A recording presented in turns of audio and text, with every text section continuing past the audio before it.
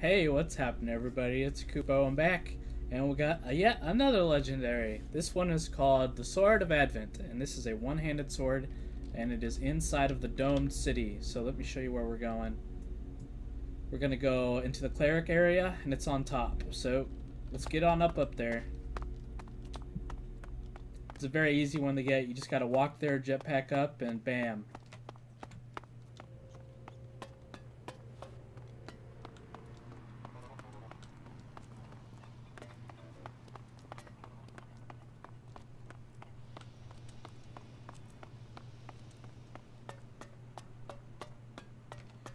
Alright, so let's just start making our way up.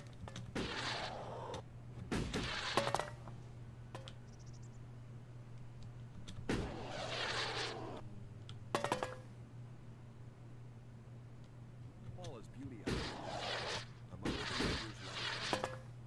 So remember, don't just Okay. carry a weapon. Train others. Plan your journeys to avoid the area. And I can see it. It's right there. Alright, there's also a lock box here. I, I opened it already, just see it's in there. There's two hand grenades in there if you want to pick that lock. So here we are, the Sword of Advent. Alright, let's see what we got here. Alright, 50 damage, lightning enchanted. Very high dexterity requirement with a pretty low uh, strength. The lightning damage type is going to be pretty useful. Uh, I don't know how much damage it actually does. I think it's like 40 points of damage is lightning. But yeah, you guys can figure that out. I, I'm pretty sure that's what it is though. Um, as far as practical use, other than it being really easy to obtain, I would say if you're just doing a high dexterity build, uh, it's got low strength, so maybe it'd be a good melee weapon for you to use.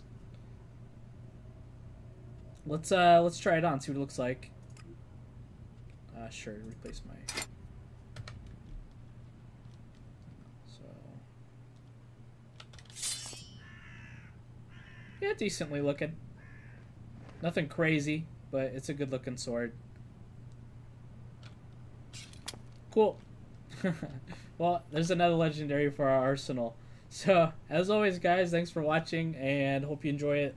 Like, comment, subscribe. See you guys in the next video.